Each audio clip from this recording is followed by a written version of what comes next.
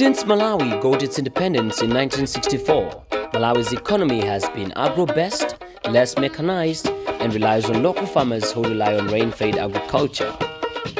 Consequently, the country usually experiences sporadic episodes of famine that have affected the country's economic status.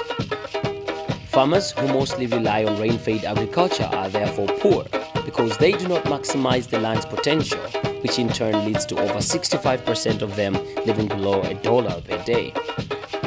In his efforts to achieve Millennium Development Goal number 1, which aims to eradicate extreme poverty and hunger, Kendall Kamwendo, a local scientist, has come up with an innovation termed as Kendall's motorcycle irrigation pump.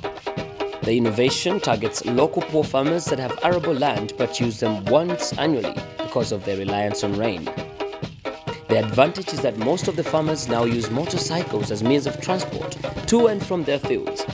Motorcycles are fuel efficient and that when this pump is connected to the motorcycle, it pumps 1000 liters of water within 5 minutes.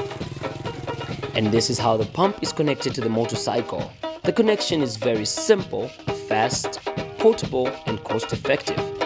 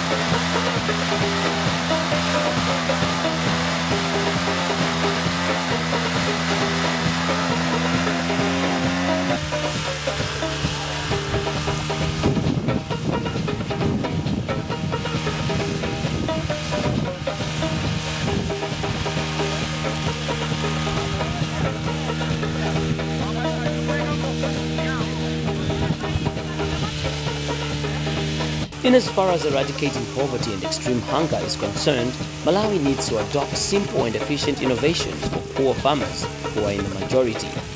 This innovation will not only help to eradicate poverty and extreme hunger, but also it will contribute in transforming Malawi from a predominantly importing and consuming to a predominantly exporting and producing country.